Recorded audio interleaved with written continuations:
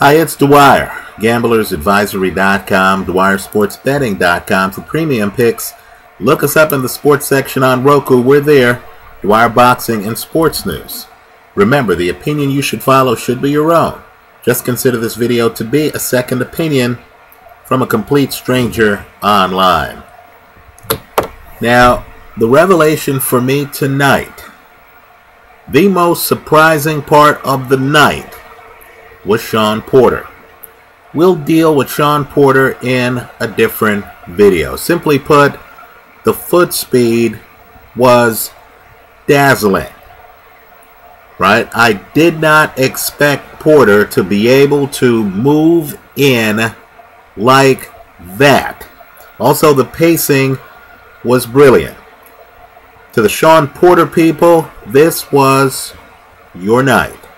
Right? Your guy, in my opinion, is a major threat to anybody at 147 pounds. But let's talk about the scoring in the Hopkins fight. That's the reason for this video right after the fight took place. Now I know the third judge is going to be ripped in the press. Right? Hopkins won the fight.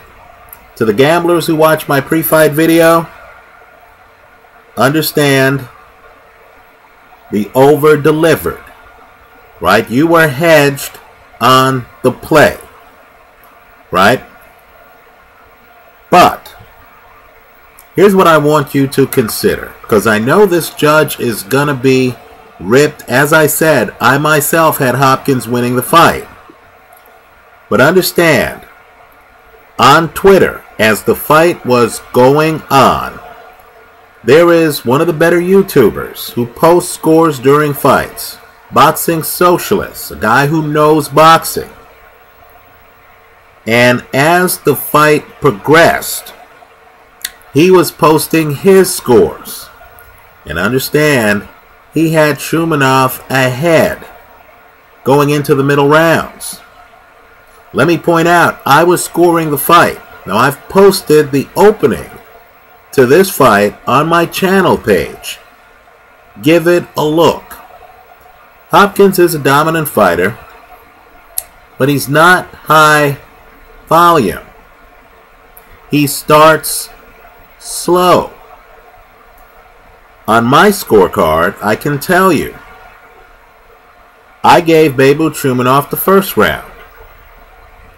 I gave Beibut Shumenov the second round. I gave Beibut Shumenov, and I know it's controversial, I actually have that in my notes, but I gave Beibut Shumenov the third round. Three rounds to none. With nine left. Right? I also gave Beibut Shumenov the sixth round. The point I'm making is simply as you watch the fight, understand that what Hopkins does that's so effective is he's an excellent counterpuncher. He's throwing a counter right hand and it's hitting with regularity. But he's the one being stalked in the ring. Shumenov is the guy who is backing Hopkins up. Right? To set up the counter, Hopkins isn't throwing a lot of punches. Shumenov makes a wise decision. As he gets close to Hopkins, he doesn't throw a jab. So Hopkins wasn't able to land the counters off the jab that he usually lands. Now Hopkins' mastery eventually takes over in the fight. But I have to be blunt with you. Right? A fighter on his front foot who's trying to create the action, who's not getting hit, with anything major, who's not getting hit with more than he's dealing. Right? That fighter, especially early in a Bernard Hopkins fight, is going to bank some rounds. Right? The controversial scorecard had Hopkins winning seven rounds. I didn't see that. Excuse me, not Hopkins. Beibut Shumenov winning seven rounds. I didn't see that. Right? And certainly there's a 10-8 round in there. Fair enough. But I thought the scores on Showtime were too wide. The judges themselves thought the scores on Showtime were too wide. Compare and contrast Steve Farhood's scorecard, Al Bernstein's scorecard, with the actual judges' scorecards. Then what I want you to do is to actually sit down and watch the early rounds. To those of you who believe Hopkins took the first two rounds, tell us why. Right? The point is, Shumenov is on his front foot. It's a masterful performance by Hopkins. Make no mistake about it. Right? Hopkins dampens Shumenov's volume, slows him down. His landing counter rights, then later is even throwing in counter lefts. Right? But the counter right is masterful. But this is the risk in terms of the scoring that low volume counterpunchers take when they start slow and are on their back foot. Right? If it's a slow fight and not a lot is landing, right? Then the guy who looks like he's backing up the other one, the guy who is verbal after his punches, understand, Shumenov lets out an audible sound. He goes, huh, huh, when he's throwing a punch. Right? The visual is bad. For the guy who's backing up while somebody else is coming forward and going, ha, ha, throwing punches and isn't being outpunched. Right? Maybe he's being outboxed. Here, Shumenov gets undressed the second half of the fight. Right? My scorecard had Shumenov winning. But the fight was closer. Right? The fight was closer than the Showtime scorecards. Right? When you see a fight and you're not scoring the fight, the fight can actually look more convincing than it is when you're scoring the fight and you realize that during the first 25% of the fight, the first three rounds, not a lot happened. Right? Bernard is standing back, figuring out the angles. Right? Seeing the pacing, seeing what happens when he backs up and Shumenov comes toward him. He's not throwing a lot of punches right? I personally have been surprised for some time that many opponents don't jump out and try to jump on Hopkins in those first two rounds. Understand the Jermaine Taylor fights are first half heavy, right? Taylor comes out, is throwing a jab early. Right now, Hopkins feels he was robbed in both fights. But if you look at both fights, Hopkins starts slow in both fights. This is the first time Hopkins fought Beibut Shumenov.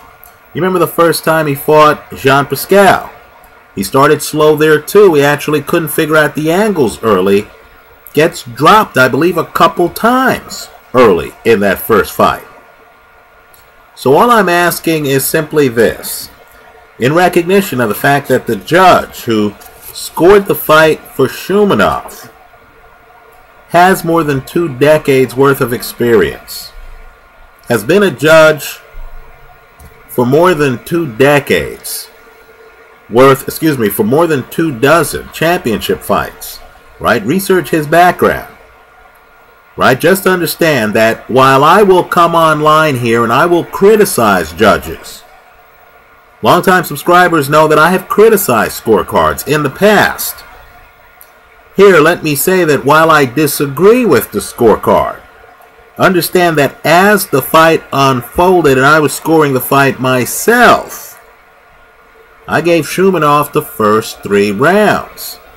Yes, he gets undressed, but the idea of Shumenov winning five rounds in this fight isn't that far fetched. Hopkins is landing at a much higher percentage than Shumenov, right? But he's not winning the fight as convincingly as, let's say, Gabriel Campillo, in my opinion, won his rematch against Shumenov. That's a fight I talk about in the pre-fight video. Right? Hopkins isn't coming in with a lot of sustained volume.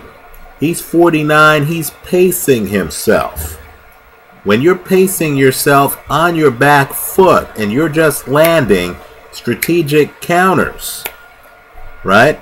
Understand, the scoring's going to be closer than most people expect, right? Hopkins won the fight.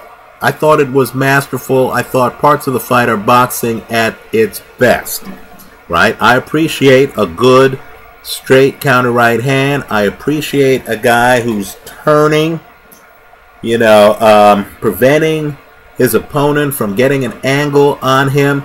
I appreciate a guy who's comfortable in the corner of the ring.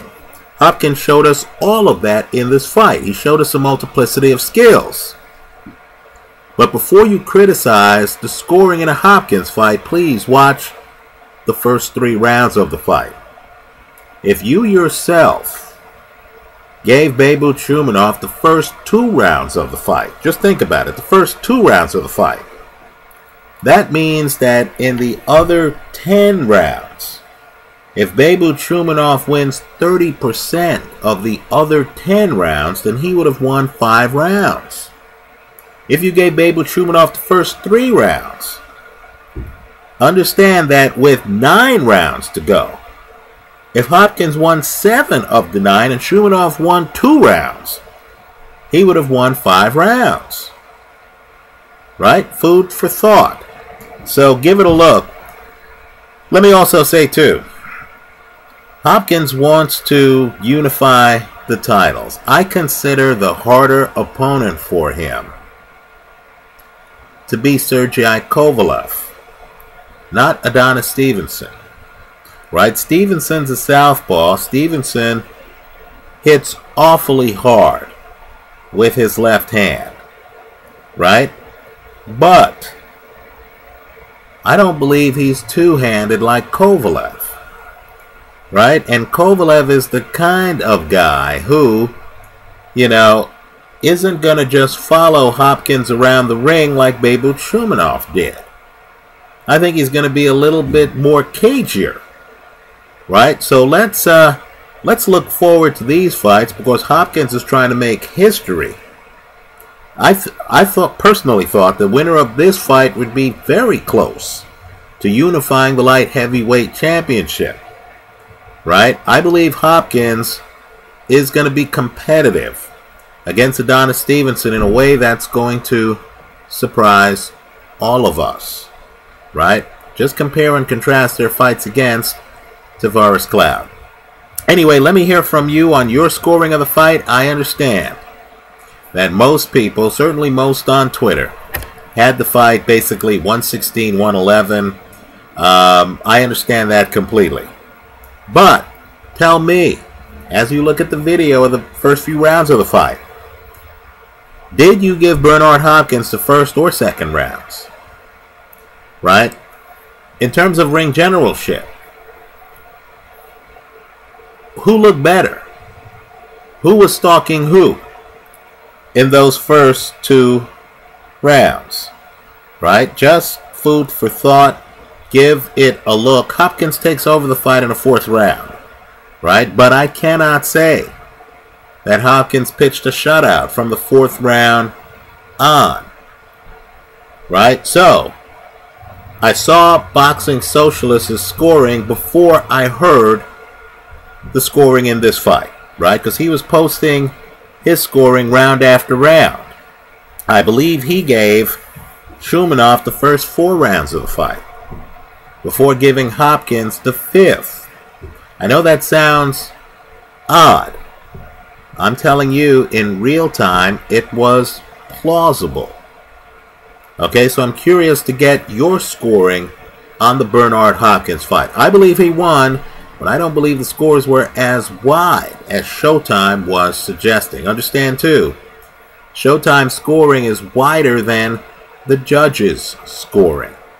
Right? Had that third judge given the fight to Hopkins by a round, I don't think we would have the same outrage that we're having right now because, in my opinion, that scoring, even though I thought Hopkins looked great, right, even though I myself thought Hopkins dominated portions of the later part of the fight, right, I think those watching the fight understand that just the way he starts, he gave away at least the first two rounds. Right? The scoring doesn't start in round four. Let me hear from you. Thanks for stopping by.